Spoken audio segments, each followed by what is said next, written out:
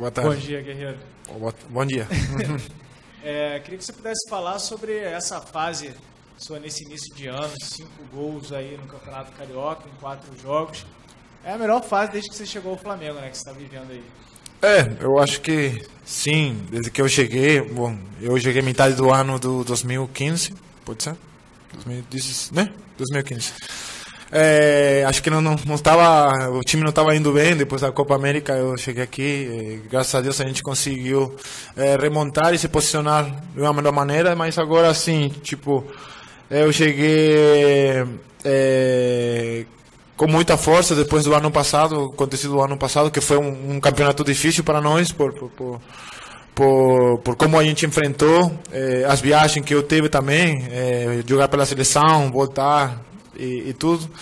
É, a gente conseguiu fazer um, um campeonato, acho que é, não foi ruim, é, foi muito bom. A gente poderia ter alcançado ainda sair campeão, mas e esse ano o time já está mais entrosado. É, acho que chegaram reforços que, que acabaram de complementar o time e encaixou bem. E esse ano acho que está dando certo, porque a gente já se conhece muito bem. É, a gente já tem um padrão de jogo.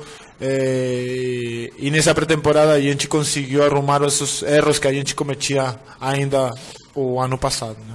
Você está até mais leve, assim, visualmente, para ver se está mais tranquilo também. Ah, quando, quando as coisas dão, dão certo, quando eu estou anotando, fazendo gols, acho que dá para descansar bem, estar bem.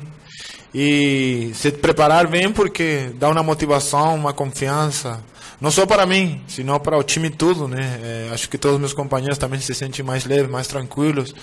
E, e para jogar também com mais confiança. É, como te falei, a gente já tem um padrão de jogo. É, a gente gosta de, de, sair vitorioso do campo, né? sempre uma vitória sempre bom, dá confiança na semana, dá para treinar melhor, né? um bem de outro jeito para para treinar, então acho que está dando certo, né? Guerreiro, boa tarde agora. Boa tarde. É, você falava sobre as mudanças, né? Um início de ano diferente. Na partida depois do jogo da vitória contra o Botafogo, Zé falava sobre a sua performance nesse início de temporada, sobre como você evoluiu, como você é importante para o grupo e falou que vocês tiveram uma conversa depois da Copa América, quando você retornou, falando uhum. do quanto isso era importante para esse elenco. É, qual a participação que o Zé tem nisso? Dessa vez o Flamengo está começando esse trabalho com o Zé, né? No ano passado ele pegou depois da saída do Murici. Efetivamente, que participação o Zé Ricardo tem nessa evolução, uhum. nessa melhora também? Muito, muito. Acho que depois da Copa América, efetivamente eu conversei com ele. É, tivemos um papo bem legal. É, ele é uma pessoa, um cara bem honesto, bem sincero. É, falou tudo o que eu tinha que dizer. Eu me senti muito à vontade com ele, muito confortável. Aí começamos a trabalhar juntos de uma maneira onde ele se sentir cômodo eu também. A preparação também, ideal. É... E, e, eu comecei a fazer também um, um, um trabalho especial. Tipo, é, na pré-temporada, os primeiros dias eu não treinei, estava com os tornozelos um pouco fracos, já vinha arrastando esse problema do, desde que eu cheguei aqui, que me machuquei quatro vezes. E, e comecei a mudar minha minha, meu treinamento, né? Antes dos, dos treinos, sempre passo aí no, no departamento médico para fortalecer os tornozelos. É, como eu falei, é, montamos um, um, um, tipo de trabalho organizado com, com, com, com o departamento médico, uh, com um preparador físico, para eu me preparar bem também. E, e esse ano estou me sentindo muito bem. Não sou eu. Eu não posso falar também, não gosto de falar só eu. Não tenho que falar como grupo, que a gente está correndo muito, está correndo mais, está tá, tá lutando, tá se sentindo mais forte para lutar as bolas divididas. Então, acho que é, é, um trabalho já organizado que, que o Flamengo já, já tinha montado para esse ano é, dar tudo certo e, e as coisas estão dando como a gente quer, né? Falando agora taticamente, tecnicamente, o time teve algumas mudanças, né? O Mancoejo entrou ali pelo lado direito, o Zé falava que tem conseguido deixar o Mancoejo um pouco mais próximo de você. Nessa uhum. parte de campo e bola mesmo, o que, que mudou no time que tem facilitado o seu trabalho até levado você a marcar mais gols nesse início de temporada? Eu acho que é, entrosamento foi muito importante. Né? É, falo muito com Manco, falo muito com Diego, falo muito com Everton. Agora a chegada do Berrio também. É, com os jogadores dos lados, Cirino, Adrian, todos, eu acho que conversam muito. É, e esse entrosamento é muito importante, porque eles sabem como eu, eu gosto de jogar, sabem na hora que eles podem jogar a bola para eu segurar, para eu é, esperar eles passarem, para jogar um dois, fazer um, é uma tabela, ou, ou, ou, eles me enfiar a bola. É, a chegada do, do, do, do, Trauco também foi importante, porque ele me procura toda hora. É, não só eu vou na longa, senão também vou na curta. Então, acho que esse entrosamento acho que é importante e, e a gente está se comunicando muito bem dentro do campo. Aproveitar, Guerreiro, é, que você falou do, citou o Trauco, né? E você também chegou a indicar o Trauco para a contratação do Flamengo, conversou. O que, que você pode falar sobre esse jogador em termos de características, de importância dele para o grupo? É, Trauco, bom, eu conheço ele, porque joga comigo na seleção, um moleque tranquilo, é, bem disciplinado, é, muita qualidade técnica. Desde que chegou, acho que não só eu, eu já conhecia na seleção peruana, senão todo mundo ficou encantado com ele por, por porque ele é um cara tranquilo, bem tranquilo, pouco fala pouco, está aprendendo português. Mas a parte técnica dele é muito importante, muito boa. É, ele faz muito bons cruzamentos, ele não se complica, joga fácil. É, e ele chuta bem na bola, então acho que é, ele está se encaixando muito bem dentro do grupo, dentro do time. E, e acho que ele vai dar muitas alegrias no Flamengo. Guerreiro, tudo bem?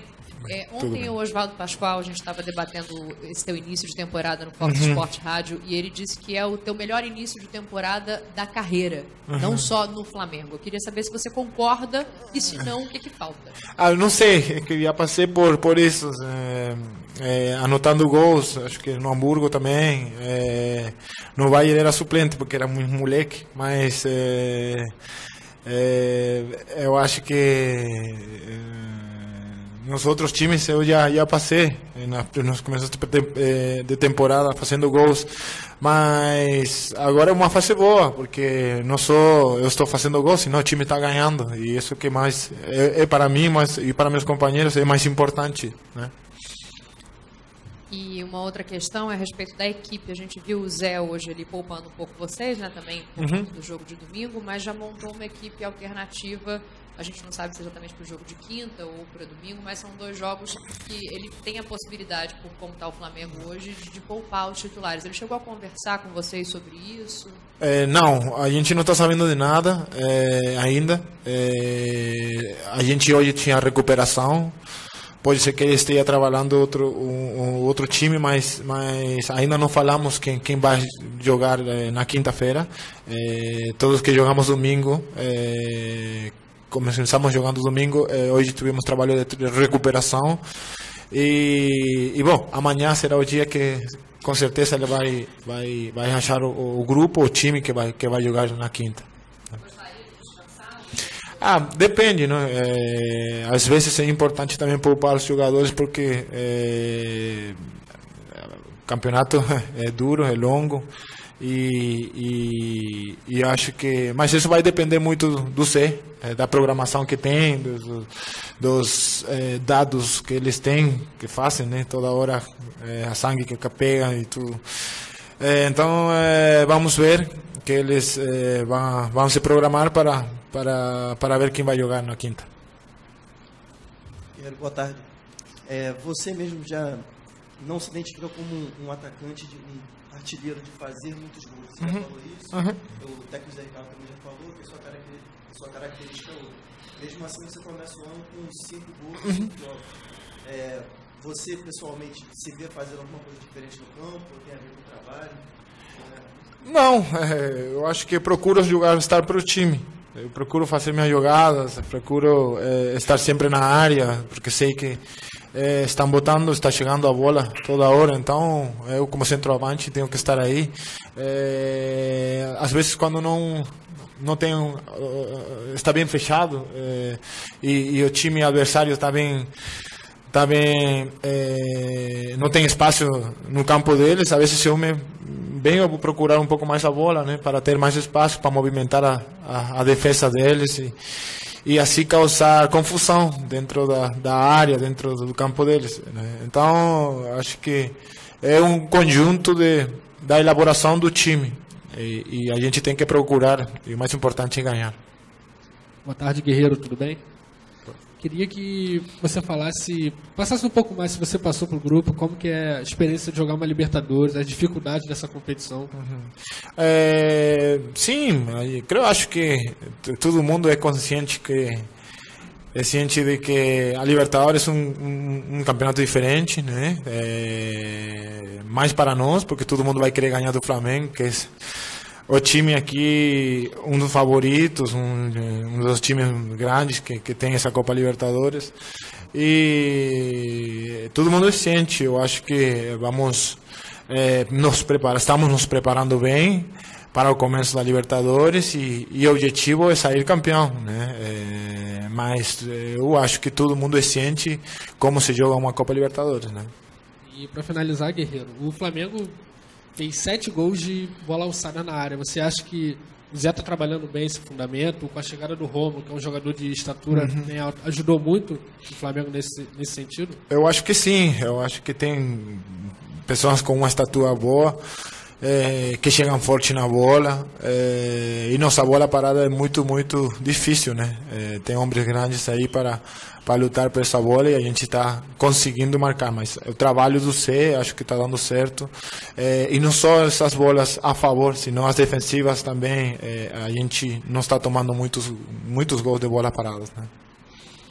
Tudo bem? Tudo bem. O Flamengo tem o Hever como capitão, tem o Diego, que é uma referência, mas você também se considera uma referência, uma liderança do Flamengo? Eu acho que é, todos temos que ser referência. Eu não acho que só um ou dois ou três jogadores são referências do time. Acho que todos têm que se considerar é, referências dentro de uma equipe. Somos uma equipe. E eu queria que você falasse também dessa quantidade é, de estrangeiros que o Flamengo está tendo. Se você acha que é bom para você, como estrangeiro, ter mais gente que fala a sua língua, se vocês levam isso é, tem uma vantagem para todo mundo, inclusive para a adaptação de quem chegou, como o Berrio, como o Trauco, de ter outros estrangeiros na, na equipe? Sim, acho que todos os estrangeiros estão se adaptando bem, pelo menos estão tentando falar português. É, é, o que eu vejo dentro do campo, que você explica em português, todo mundo está atendendo. Ou se não, um, um pedir para outro explicar o que um não entendeu. Então, acho que esse não é um problema nem atrapalha para nós. Obrigado, Guerreiro. Obrigado, Valeu. Obrigado.